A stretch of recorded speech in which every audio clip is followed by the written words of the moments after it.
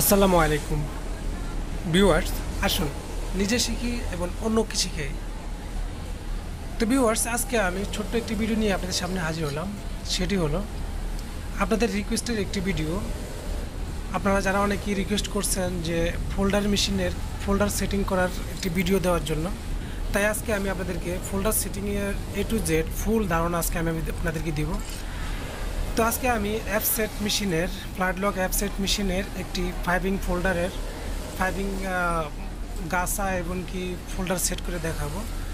তো সেজন্য আমাদেরকে যে জিনিসগুলো প্রয়োজন, একটা অ্যাপসেটের মেশিন প্রয়োজন, একটা গাছা প্রয়োজন, যেটা ফাইভিং ফাইভিংয়ের গাছা বলে, এবং কি আমাদেরকে ফোল্ডার লাগানোর জন্য একটি গাছা প্রয়োজন যেটা আমার হাতে দেখতে পাচ্ছেন। তো আমরা আগে এই গাছাটি লাগিয়ে নেব। এখানে দুটি স্ক্রু থাকে ওয়াশারের সাথে দুটি স্ক্রু দেওয়া থাকবে। আমরা দুটি স্ক্রু দিয়ে স্ক্রুগুলো লাগিয়ে নেব। তারপর আমরা অ্যাডজাস্ট করব যে যেভাবে আমরা এটা অ্যাডজাস্ট করি। একুরেটলি যে নিয়মটা আছে, সেই নিয়মটা আমি আপনাদেরকে দেখিয়ে দিব।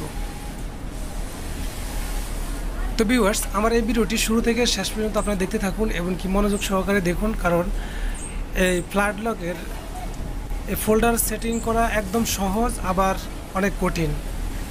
সময়তে এক চান্সেই ফোল্ডার সেট হয়ে যায়, আবার সময়তে অনেক যায় ঝামেলা করেও ফোল্ডার সেট করা যায় না।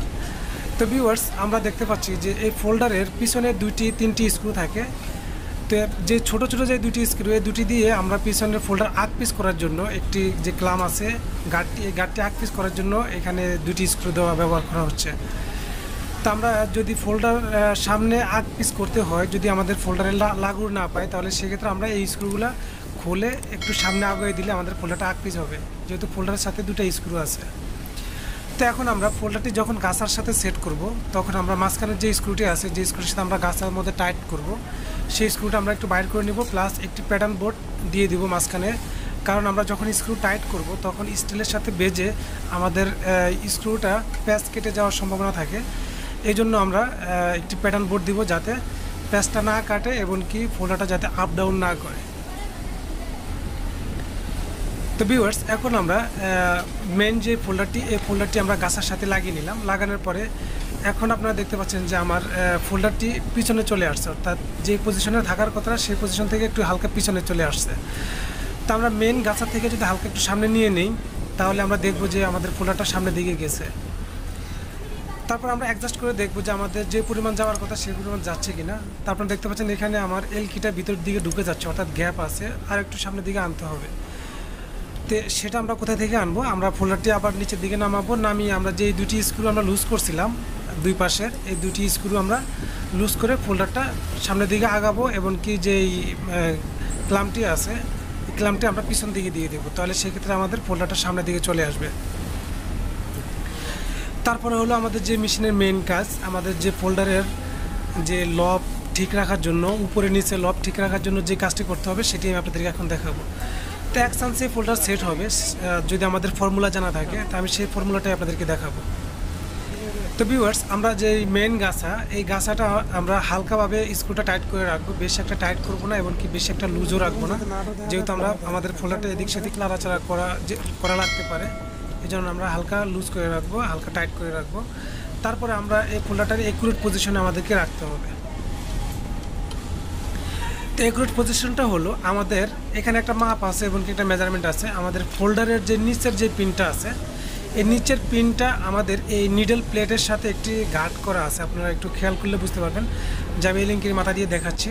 এখানে হালকা একটু ক্রস কাটা আছে। এই ক্রসের মধ্যে আমাদের নিচের যে পিনটা এই নিচের পিনটা আমাদের এই নিডল প্লেটের সাথে রাখতে হবে।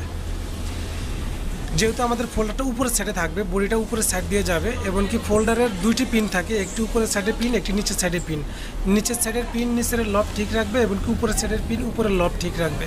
তো আমরা নিচের লব নিচের যে পিনটা এই পিনটা প্লেটের যে কাটিং অংশ, এই কাটিং অংশের সাথে টাচ করে রাখব। তারপরে আমরা হালকা স্ক্রুটা টাইট করে দিব। টাইট করার পরে আমরা যে কাজটি করব, আমাদের যে ফাইভিংটা আছে, এই ফাইভিংটা আমরা ফোল্ডারের ভিতরে ঢুকিয়ে তারপর চেক করব এবং কি চেক করার পরে বাকি অ্যাডজাস্টমেন্ট আমরা করব।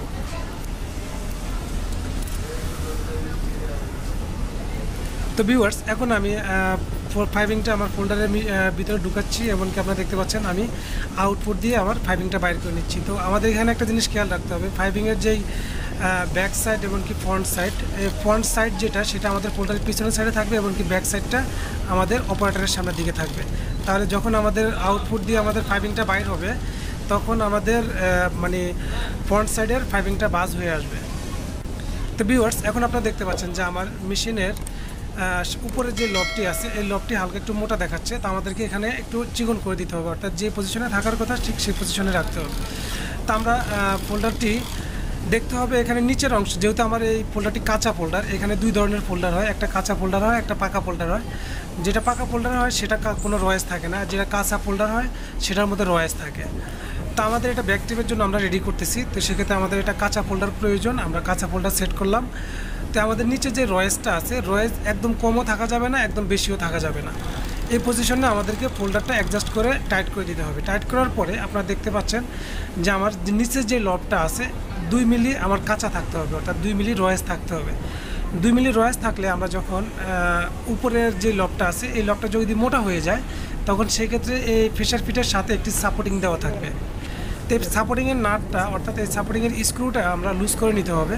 লুজ করার পরে উপরের পাশে যে সাপোর্টিং এই সাপোর্টিংটা আমরা হাত দিয়ে ধরে হালকা ভিতর দিকে যদি প্রেশার দিই, তাহলে আমরা আমাদের ফোল্ডারের উপরের যে লবটা, এই লবটা একটু ভিতর দিকে ঢুকে যাবে এবং কি আমাদের লবটা একটু চিকন হবে। তো ভিউয়ার্স এখন আপনারা দেখতে পাচ্ছেন যে আমার লবটা অনেক চিকন হয়েছে। তারপরেও আমাদের কোয়ালিটি মেনটেন্স করার জন্য যে পরিমাণ প্রয়োজন, ঠিক আমরা উপরের লবটা সেটুকুই আমরা রাখব। তো এখন আমি আপনাদেরকে দেখাবো যে আমার ফাইভিংটা কেমন হচ্ছে। প্রয়োজনে আমরা আমাদের যদি আর একটু চিকন মোটা করতে হয়, সেটাও আমরা করে নিতে পারব। তো ভিউয়ার্স এখন আপনারা দেখতে পাচ্ছেন যে আমাদের নিচের যেই রয়েস, এই রয়েসটা আমার দুই মিলি পরিমাণই আছে এবং উপরের যেই গ্যাপটা অর্থাৎ যে লব এই লবটা আমাদের এক মিলি পরিমাণ আছে। তো এখানে আমরা আরেকটা জিনিস লক্ষ্য করতেছি, আমাদের আগের যে লবটা একটু মোটা ছিল, পরের লবটা আমরা চিকন হয়েছে। আমাদের আমরা চিকন করার পরে উপরে সাপোর্টিং থেকে যখন চিকন করলাম, তখন চিকন হয়েছে। তো বাট এখানে আমাদের এই ফাইভিং মেশিনের অ্যাপসাইডের আমাদের স্টেজটা একটু পাতলা আছে, আমরা এটাকে আর একটু ঘন করে নিতে হবে। যেহেতু ফাইভিং সেট যখন করে তখন বডি ঢুকানোর সময় যদি স্টেজ যদি পাতলা থাকে, তাহলে সেক্ষেত্রে লব আপ ডাউন করে, বাড়াবাড়ি করে পড়ে যাওয়ার সম্ভাবনা থাকে। তাই আমরা মেশিনের যে স্টেজ স্টেজটা আমরা হালকা একটু ঘন করে দিলাম। তো ভিউয়ার্স এখন আমাদের মেশিনটা হান্ড্রেড পার্সেন্ট পারফেক্ট আছে। আপনারা দেখতে পাচ্ছেন যে এখন লবটা একদম পারফেক্ট এক মিলি প্রয়োজন ছিল, আমাদের এক মিলি আছে। তো এইভাবে আপনারা চাইলে আপনাদের মেশিনটা পাইপিং মেশিন সেট করে নিতে পারেন। আর সম্পূর্ণ যখন ওকে হয়ে যাবে, তখন আপনারা সবগুলো নাট একুরেটভাবে হান্ড্রেড পার্সেন্ট টাইট করে দেবেন। তো ভিউয়ার্স এই ছিল আজকের মতো আমার ভিডিও টিউটোরিয়াল আমার ভিডিও যদি আপনাদের কাছে ভালো লেগে থাকে, অবশ্যই একটি লাইক করে দিবেন এমনকি আপনার বন্ধু বান্ধবের মাঝে শেয়ার করে দেবেন। আর আপনাদের মতামত অবশ্যই আমাদের কমেন্ট বক্সে কমেন্ট করবেন। আজকে এই পর্যন্তই, দেখা করব পরবর্তী কোনো এক ভিডিও নিয়ে। সেই পর্যন্ত আপনারা সকলে ভালো থাকেন, সুস্থ থাকেন। এই কামনে আজকের মতো বিদায়। আল্লাহ হাফেজ।